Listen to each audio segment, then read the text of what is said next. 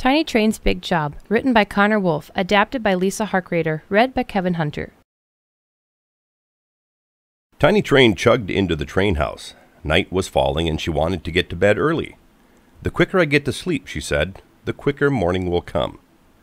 Tiny Train backed into the train house beside diesel engine and passenger engine. Tiny Train was the smallest train in the train yard, so she had the smallest stall. But I don't mind, she said. Tomorrow I will get to leave the train yard for the first time. I'll show everyone that small trains can do big things. Tiny Train drifted off to sleep.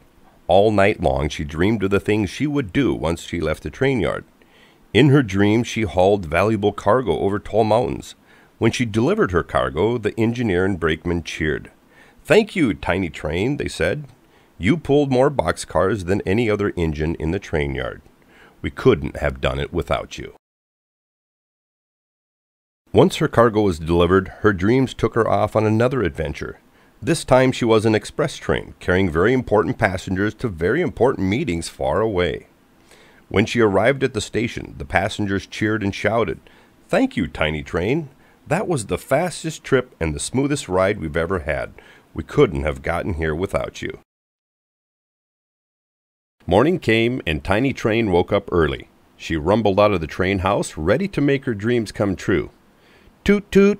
Tiny Train sounded her whistle and chugged down the tracks out of the train yard. She saw a diesel engine pulling a heavy load of logs and coal. I could pull a load like that, Tiny Train thought to herself. She rolled over to Diesel Engine and blew her whistle again. I'm here to help, said Tiny Train.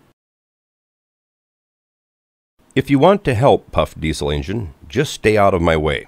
I've got hard work to do. I can work hard, said Tiny Train. I'm sure you can, said Diesel Engine, but this job is too big for a little train like you.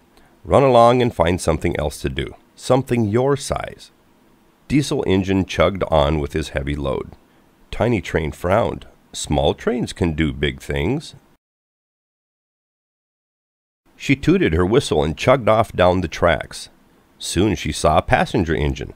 Passenger engine looked so sleek and shiny carrying her important passengers. Tiny Train could see those passengers through the windows. She saw serious looking business people traveling to meetings. She saw excited families eager to start their vacations.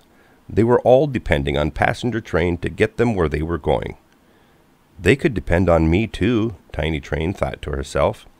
She tooted her whistle and sped up to catch passenger engine. I came to help, said Tiny Train. You are much too small, said passenger engine, and we are going too fast. You could never keep up. Yes, I could, panted Tiny Train. I'm very dependable.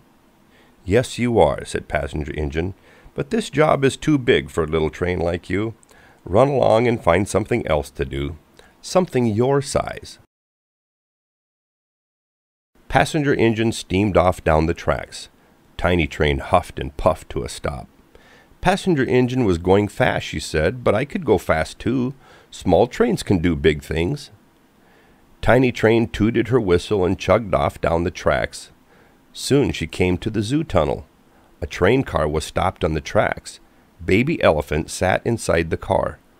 Railroad workers and zoo officials were looking at Baby Elephant and scratching their heads. Tiny Train rolled over to the train car. What's the matter? she asked. I need to get into the zoo to be with my mother, said Baby Elephant, but all the train engines are too big to go through such a small tunnel. Tiny Train looked at the tunnel. It's small, she said, but so am I. Tiny Train backed up and hooked onto Baby Elephant's train car. She puffed out steam, tooted her whistle, and chugged through the tunnel. Baby Elephant was so happy she raised her trunk and let out a big trumpeting sound. Mama Elephant was also happy and trumpeted back. The railroad workers and zoo officials cheered. Thank you, Tiny Train, they said. We couldn't have done it without you. You can work here every day. This job is just the right size for you. The animals all cheered. Tiny Train was very happy. This job is the right size for me, Tiny Train said as she chugged down the track, because small trains can do big things, you know. I'm Kevin Hunter.